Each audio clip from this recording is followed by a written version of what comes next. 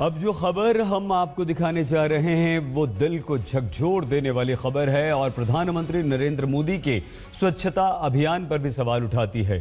क्या गरीब मजदूर की ज़िंदगी की सरकार और प्रशासन की नज़र में कोई कीमत नहीं?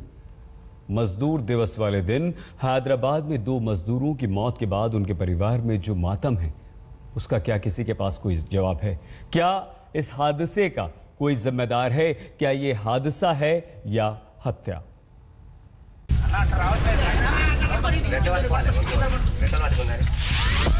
दिल को झकझोरने वाली चीख पुकार।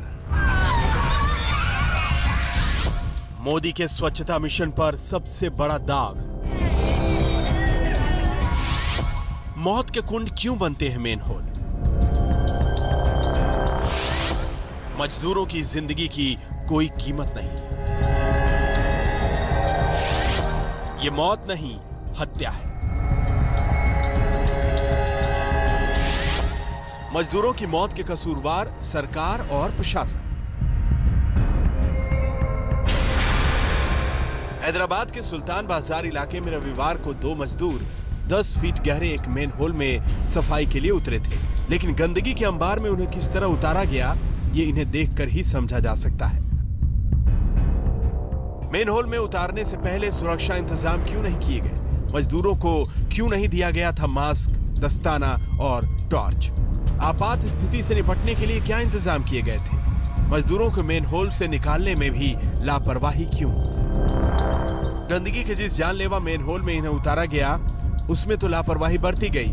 जब मेन होल में जहरीली गैस से इनका दम घुट गया तो रस्सी से जिस तरह खींच कर इन्हें निकाला गया, उससे अगर इनमें थोड़ी बहुत जान बची भी होती तो भी ये सही सलामत नहीं निकलने वाले थे। जरा सोचिए जिन मजदूरों को इस वक्त देखने के लिए भी मास्क लगाने की ज़रूरत पड़ रही हो, उन मजदूरों को जानलेवा गंदगी के बीच बगैर मास्क के उतार देना क्या जानलेवा लापरवाही नहीं थी?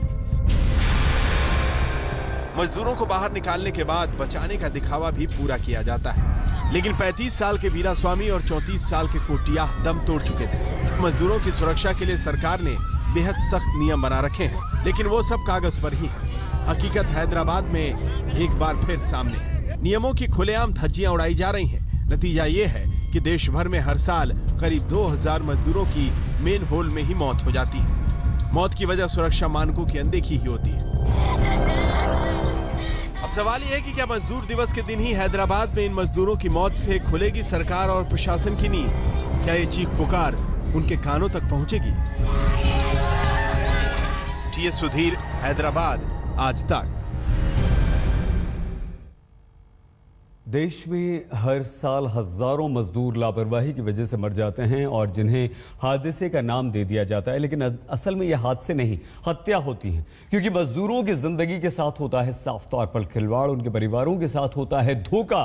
स्थिति इतनी भयावह है, हालात इतने डरावने हैं इसका एक आंकड़ा जल्दी से हम आपको बता देते हैं देखिए 2010 में मौत यानी कि बेबस जो मज़बूत मजदूर मरे हैं, एक हज़ार सात सौ तैंतालीस और आज की बात तो और ज़्यादा है, वो आंकड़े हमारे पास नहीं है, लेकिन एक हज़ार नौ सौ इक्यासी, दो हज़ार तेरह में और ये लगातार बढ़ता ही जा रहा है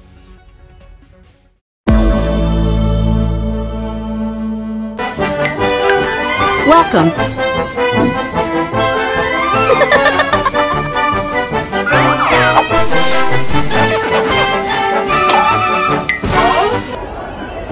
तस्वीरें आपके सामने किस तरीके से यहाँ पे हंगामा होता है, किस तरीके से कन्हैया मंच पर मौजूद होता है, वहाँ पर मार पिटाई चल रही होती है।